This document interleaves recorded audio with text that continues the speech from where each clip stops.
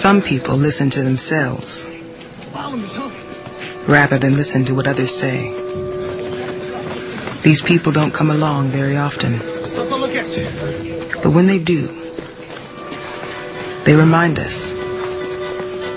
that once you set out on a path, even though critics may doubt you,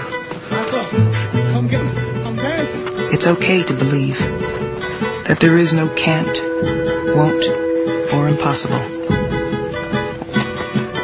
They remind us that it's okay to believe impossible is nothing.